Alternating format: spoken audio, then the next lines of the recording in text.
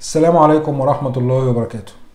أهلا بحضراتكم في فيديو جديد مهم آه، سيكا بيخص الشرطة أو جهاز الشرطة. ظاهرة آه، أنا ملاحظها بقالي أكتر من آه، تقريبا من أسبوعين بالظبط وهي جرائم قتل أفراد الشرطة أثناء أثناء الاشتباكات. جرائم قتل أفراد الشرطة أثناء الاشتباكات. بدأت بمقتل أمين شرطة في اشتباكات مع مسجلين خطر في اسكندرية. الكلام ده من حوالي من أسبوعين. بعدها بأسبوع أو بالظبط من ثلاث أو أربع أيام معاون مباحث آه، اسم شرطة إدفو في الصعيد. محمد كيلاني اتقتل برضه في اشتباكات مع تجار مخدرات ومسجلين خطر. وأخيرا النهارده مقتل معاون مباحث أحمد ياسر توفيق. أحمد ياسر توفيق ده معاون مباحث آه، مركز كفر الشيخ برضه في اشتباكات مع مسلحين.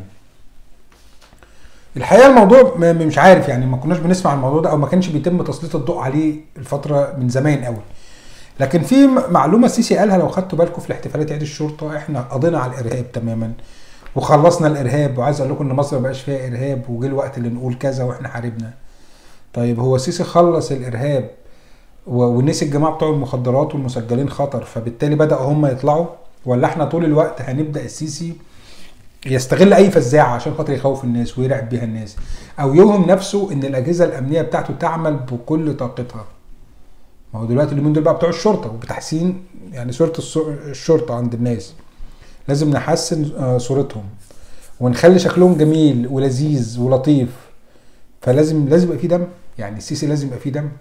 شفنا قبل كده وكنا بنقول كنا بنقول شوف المستفيد من الأحداث اللي بتحصل في سينا. مين؟ هتلاقي هو السيسي عشان يبرر موقفه ويبرر تهجيره للناس مش أي حد تاني.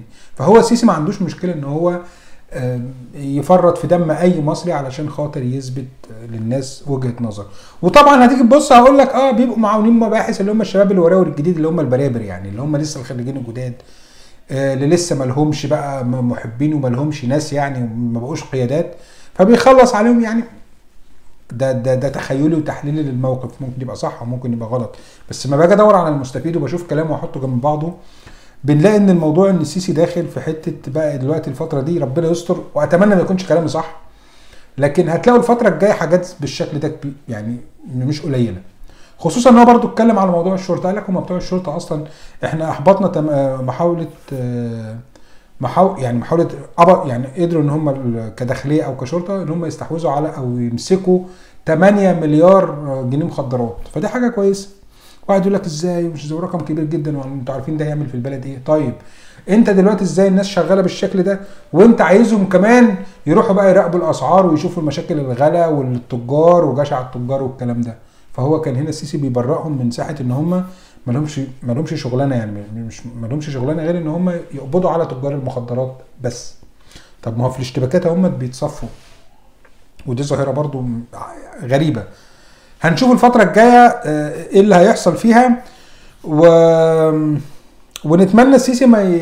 ما يستغلش الحدوتة دي ويطلع عليها يركب عليها ترند تاني إحنا مش عارفينه. لأنه أنتوا عارفين دايما السيسي ما بياخد حاجة بياخد سكة كده بياخدها ويطلع بيها الحتة ياخد بيها المصريين في حاجة وهو بيعمل حاجة تانية. فكرة بص العصفور أتمنى في النهاية يكون الفيديو عجبكم وتدعمونا ب like و subscribe و share. وفي النهاية أتمنى دعمكم ب like و subscribe و share وتفعلوا الجرس عشان يجيلكم كل جديد بننزله سلام.